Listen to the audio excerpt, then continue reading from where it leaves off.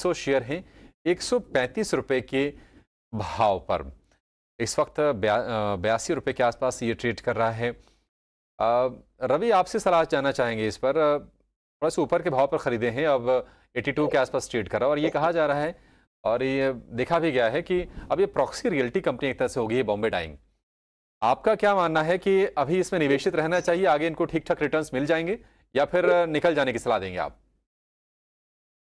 अभिषेक जी, मुझे लगता है ट्रेड बदलने की ज़रूरत है। थोड़ा सा मार्केट यहाँ पर अभी डाउन लग रहा है और ये अगर देखते हैं तो फंडामेंटल नंबर्स पे भी बहुत ज़्यादा इम्पैक्ट नहीं दे रहा है और जो अभी एट्टी टू रुपीज़ का भाव अगर आप देखें तो पिछली गिरावट जो स्टार्ट हुई थी, वो एक पच्चीस रुपए से स्टार्ट हुई थी, बयासी रुपए आ गया है। और अगर 80 के नीचे जाता है तो वापस से आपको 60 और बासठ रुपए की रेंज में आ सकता है। तो मुझे लगता है कि चूँकि यहाँ पर ना तो आपको टेक्निकल अच्छा लग रहा है और ना बहुत ज़्यादा यहाँ पर आपको फंडामेंटल नंबर्स अट्रैक्ट कर रहे हैं। तो एक बार एग्जिट होने में ज़्यादा समझदारी रही बात। दूसरी तरफ़ अगर जाना चाहते हैं तो आप यहाँ पर एनएमडीसी को आप अपने फोकस में रख सकते हैं। आप उसमें निवेश की रणनीति बना सकते हैं या फिर दूसरा स्टॉक है आरईसी आप इसको भी ले सकते हैं। दमदार स्टॉक्स हैं। आपको अच्छे यहाँ पर डिविडेंड मिलते हैं। डिविडेंड यील्ड के हिसाब से भी अच्छा है और यहाँ पे फंडामेंटल भी अच्छे तो आप उनकी तरफ़ फोकस कर सकते हैं।